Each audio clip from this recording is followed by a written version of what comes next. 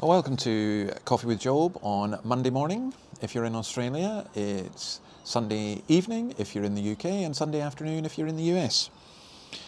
Uh, we are looking at Job chapter 29 for the first three days of this Christmas week, and it's about the prime of life. I belong to something called Amazon Prime, and it's meant to mean that this is the best. You know, this is the best. You get first class service and all that kind of stuff. Well, Job here talks about being in the prime of life. And, and, let me just say about chapter 29 overall that one of our great curses in life and in modern life is the shallowness of so many things. Well, this is Job's 11th speech, and it is certainly not shallow. In chapter 29, he looks back on his former happy life, the prime of life, and in chapter 30, he moans about his present condition. It's a lament, it's really an appeal to God. I was reading in C.S. Lewis his reflections on the Psalms that he talks about how the Christian view of Judgment Day is God coming to judge the sinner, and the, the Old Testament view, I think is a bit simple, but there's a truth in this, or what he calls the Jewish view, is of the sinner seeking vindication from God, saying, you know, I've been treated badly. And I think there's some element in this, and that's certainly true of Job. But this is a lament, and it's like Pibroch. Now, those of you who don't know Pibroch, I won't, um, I won't pain you with it. It's classical bagpipe music, and it really is lament. It's very much an acquired taste. Personally, I love it. And in this lament, I think there's plenty for us to learn. So let's just do the first six verses. Job continued his discourse. How I long for the months gone by, for the days when God watched over me, when his lamp shone on my head and by his light I walked through darkness. Oh, for the days when I was in my prime, when God's intimate friendship blessed my house, when the Almighty was still with me and my children were around me, when my path was drenched with cream and the rock poured out from me streams of olive oil. Who knows, but some of you may be thankful for and enjoying that just now. How I long for the months gone by. Now, he was not, and this is important, he is not here just viewing the past through rose colored glasses. He's this was really the case. Job was really in a very pri- privileged and blessed position. And I think there's one lesson that we can learn. Those of us who experience that, that can be taken from us at a stroke. We need to remember that. And those of us who've lost that, we do need to be careful. The days when he was in his prime, these were great days. What made them great days? What makes you in your prime? God watched over him. His, his steps were drenched in cream. He was, uh, as we'll come to see tomorrow, he was the most respected man. By the way, if, if you can see this just now, this is just amazing. There's just this incredible rainbow behind me.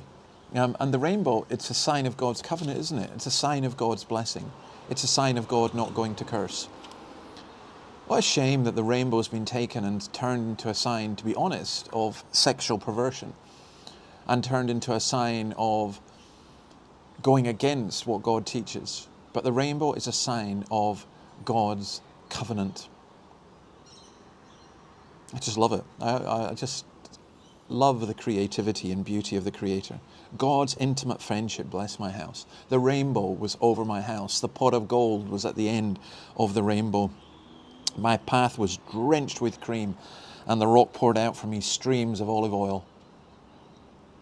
And it's gone. Sometimes counting something enables you to see what you have lost. Sometimes you don't even notice what you have lost until you have lost it. But here's the key here we don't just look to the past, we look to what is to come. The years that the locusts have eaten, the Lord can restore. And then I think about it in this way I think about what Christ gave up. We remember him coming down at Christmas, the incarnation, God becoming man. He came from the glory, he came from the glorious kingdom. Though he was God, yet he thought not equality with God something to be grasped, but he made himself of no reputation And taking the form of a servant, he became obedient even unto death. It's just extraordinary what Christ gave up for us. He became poor that we might become rich. spiritually speaking, and indeed in every way. All right, I'm going to leave it there. Uh, I'm going to leave you with David Henderson and Laura Ferguson from my old church, St. Peter's, singing Oh Holy Night. I regard this as stunningly beautiful. God bless you and see you tomorrow.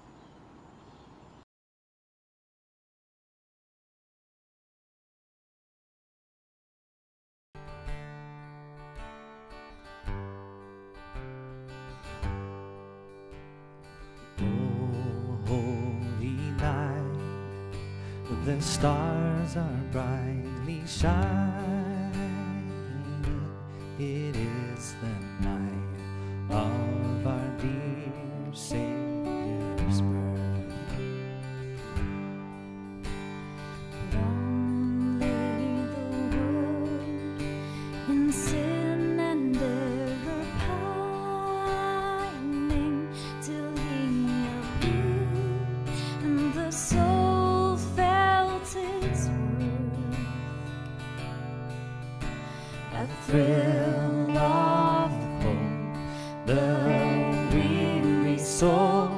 rejoices, for yonder breaks a new and glorious morn.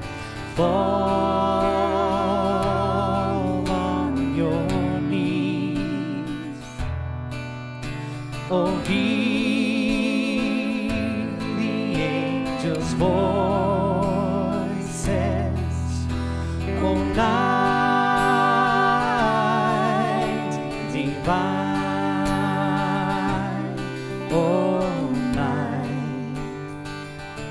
When Christ was born.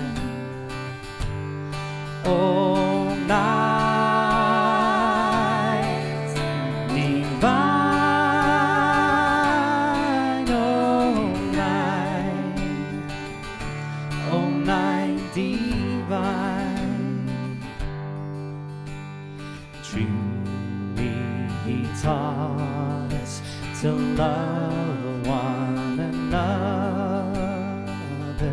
His law is love, and his gospel is peace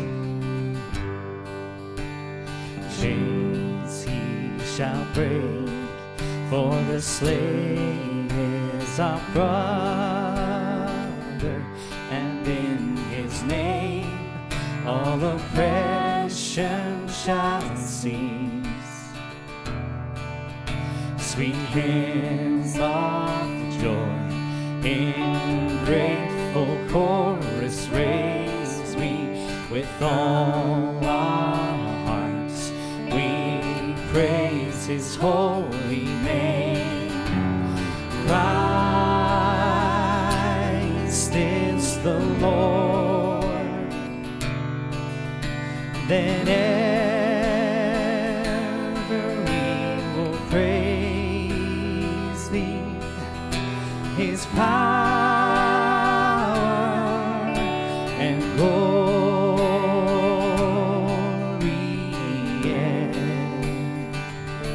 evermore